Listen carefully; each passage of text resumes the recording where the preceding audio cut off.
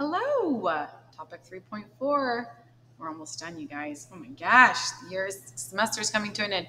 Okay, inheritance. Whew, there's so much review in this lecture that there's a lot that I um, printed out for you and that I don't need you to write down again, and then a couple things I do. So, trying to figure out how to organize this best way. Um, so, you should have two different things. You have your, uh, let's see, topic four, right? These are the notes. Oh, here, actually, you cannot see there because it's really dark in here. So, you should have this out right here.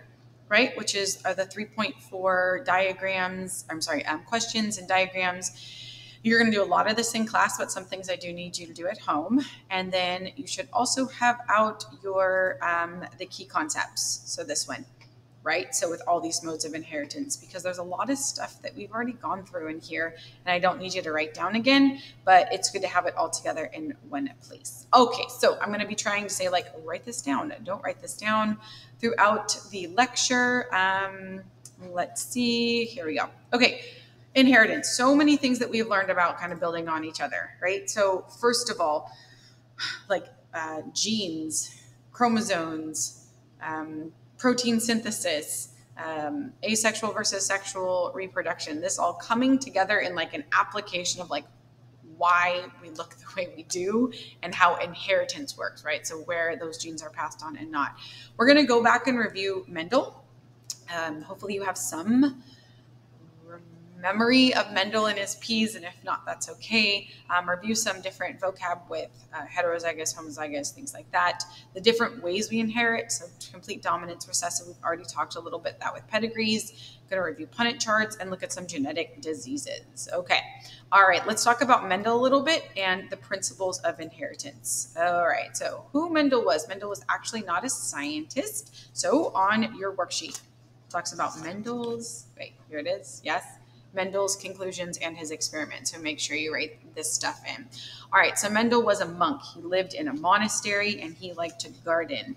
And he's actually what we call like the founding father of genetics because what he would do is he started getting like started noticing that sometimes like the plants, the pea plants would have these interesting features like white flower, purple flower, and that sometimes it would skip a generation and then come back the next generation. So he started purposely breeding plants with traits, right? So this was, it started out kind of random and then he went on purpose. So he did what's called um, pure breeding plants with different traits. So when you pure breed, you're using the same plant um, and using those genes and mixing those together. So he would take things like tall and short and mix them together. Um, I'll show you in the next one his experiment, his conclusions, but you'll write that down, right? It says drawing class, Mendel's experiments. Um, but what he discovered is the couple things from pea plants. So first of all, one his conclusions: offspring produced only one of the traits. There's never a blend with peas. So it's not like we got white with purple spots, right? There's white or purple, tall or short, green, yellow, things like that. And that the traits were often inherited in this ratio that three of them were tall, one of them was short. So there's always this 75 25% ratio with whatever trait he was looking at. So that was his kind of noticing. He had no idea of dominant recessive, no idea of inheritance at the time. This is were just his um, observations. Okay, so again, you can write this down in class or kind of put it out. But here is um, some more numbers. So here's the other things he looked at: flower, color, height, the seed color, shape, pod color, pod shape. So he looked at all these numbers and figured out for each one there was one that he called the dominant trait, the one that showed up 75% of the time, and then the recessive trait that showed up 25% of the time. All right, and he figured out these ratios. Um, this is actually the first time I've actually seen this in this um, PowerPoint. This um, statisticians believe that the results were too precise to actually be genuine. I've never seen that before. I've learned that Mendel oh, is the uh, the father of genetics. Um, however, he did use a lot of data to show these percentages, right? So he figured out the number of purple and white, and then figured out the ratio. You guys have done something like this before.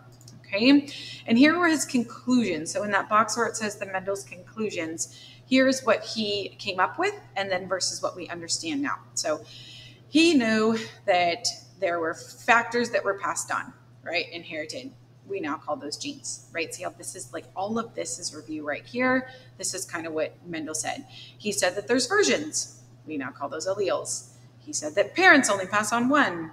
We call the gametes haploid, but then they come together, which are called diploid, and there's only one version that is expressed, right? So these were his, his conclusions. This is our current understanding. We have gone through all of this side right here. We're just kind of linking it back to Mendel right now, okay? Um, here are a couple of his laws and his observations, right? So in your worksheet here, when it's talking about um, uh, the conclusions and this area here, we're going to write down the independent assortment segregation. Um, wait, wait a second.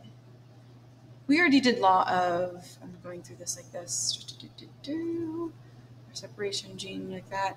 We've already gone through independent assortment. You have not done segregation, so let's add that, right? So you don't need to do independent assortment. Um, um, but you do need to do this log segregation. Okay, so that when haploids form, they segregate to separate sides, right? The alleles segregate to separate sides. Um, we learned about crossing over. That's what it was. Okay. Um, and the principle of dominance says that if I have that dominate, it will mask the recessive. I only see the recessive when I see two. Um, his kind of like caveats to the rules was that not all traits do show that right? We found that out. And but then some genes on some chromosomes do not independently sort. Sometimes they're always linked together, right? So those were his laws. All right. So looking at the mechanism of inheritance, right? So moving on. Don't need to write this down. We've already have genes and alleles in our notes, but just a reminder that a portion of a um, um, chromosome is called a gene and that it carries the directions for a specific, I'm sorry, it's called an allele. Gene codes for alleles, right? So this codes for a very specific um, um, protein, right? So this gene codes for the protein.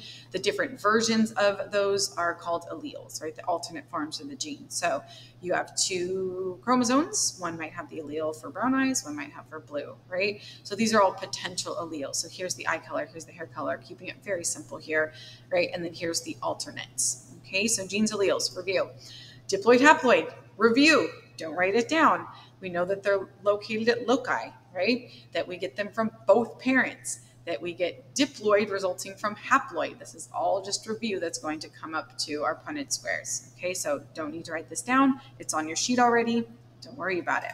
Okay, all right, so here is the allele segregation. Right, so um, we've already looked at this in meiosis. The only thing I think I want you to add here or put somewhere in your notes here um, is meiosis separates separate reduction division. Was that in your notes for meiosis? Hmm.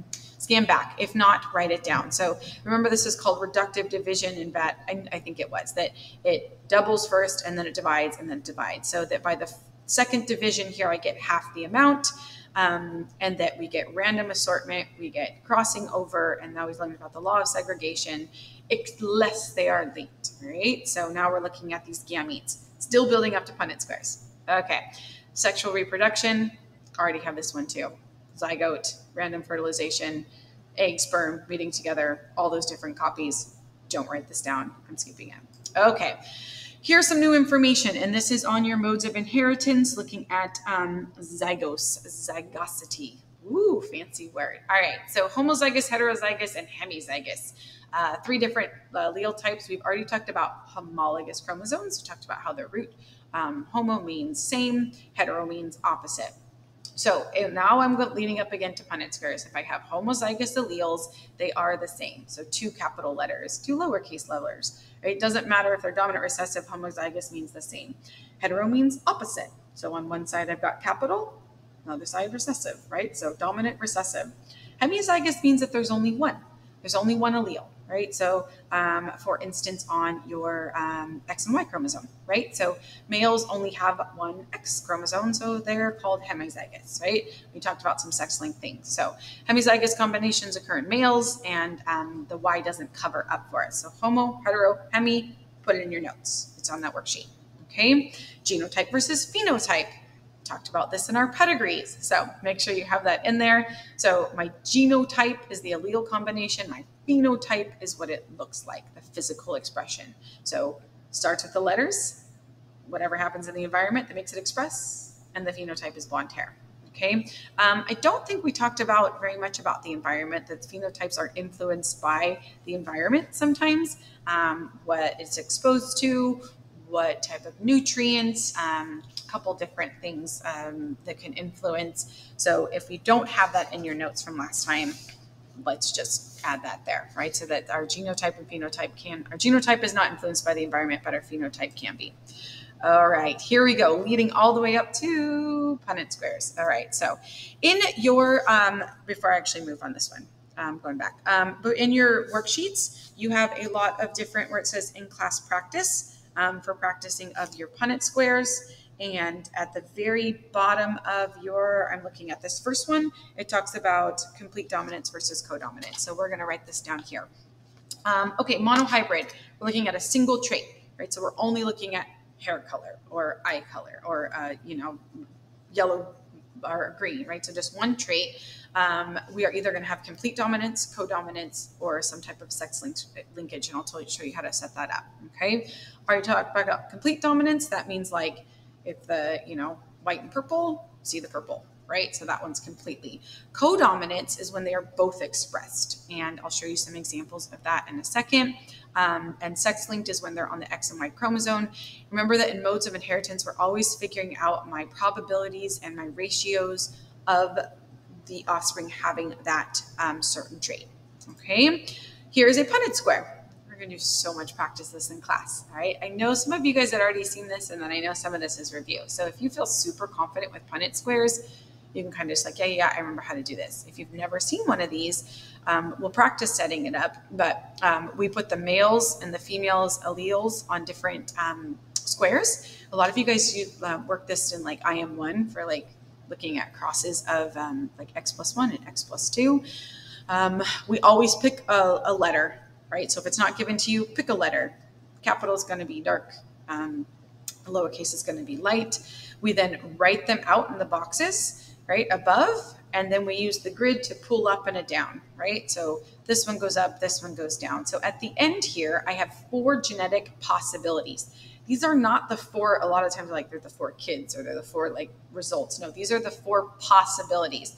So I'm always looking at the percentage of like what percentage of the offspring uh, would you predict to be you know red? What percentage would you predict to be light red? Right? So this shows the percentage in my punnett squares. We'll do all that practice in class okay? So complete dominance black and brown come together black wins. So i only see the brown if I have those two lowercase, right? Here's in, uh, codominance, and then we'll look at incompletes. Co is when um, they're notated, so you actually use a letter uh, and then have the alleles on it. So codominance, so here's black, here's speckled, here's white, right? So if I have a black and white present, I will actually see both. If I just have the black allele, I'll just see black. If I just have white, I'll just see white. So codominant is when I have both that are equally seen in full, right? So there's not type of blending. Um, our biggest example of codominance is blood type. So if you guys switch on over to after your practice, looks like it's page three. So page three of your notes, you can go ahead and fill in this chart.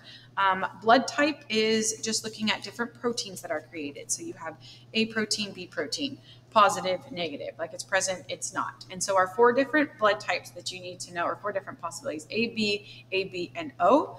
Um, a and B are codominant, and they are both dominant over um, O or I, which is like the lack of a protein, right? So it's not necessarily there's something there, there's nothing there. So I'll see those two things, right? So if I have A and B, um, then I have AB blood.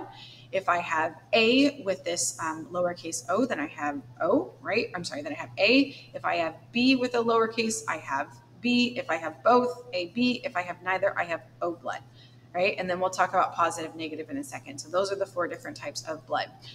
Sex linked is when it is linked to the X chromosome. There are very few on the Y. We talked about that a little bit already, but they're linked on the X. That means that the female has two versions of it and the male only has one.